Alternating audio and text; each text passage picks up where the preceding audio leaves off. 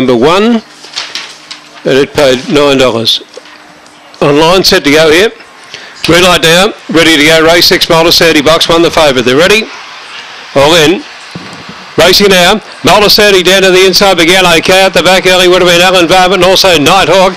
And going fast there Lictor Blicko shortly after the start to lead by a length and a half to two. Have a Blue Blitz over on the inside followed by Wamia but eight lengths away then came Lectra Hutch followed by Montessori Alan Varmint followed by Rainley and Nighthawk. In the straight Lectra Blickab's the leader. Is clear over Blue Blitz and Lectra Blickab's one by a length. Blue Blitz second Wamia third a gap then to Montessori followed then by Lectra Hutch behind them then came Nighthawk and back of the tail Alan Varmint and Rain Lee. Time around 23.98.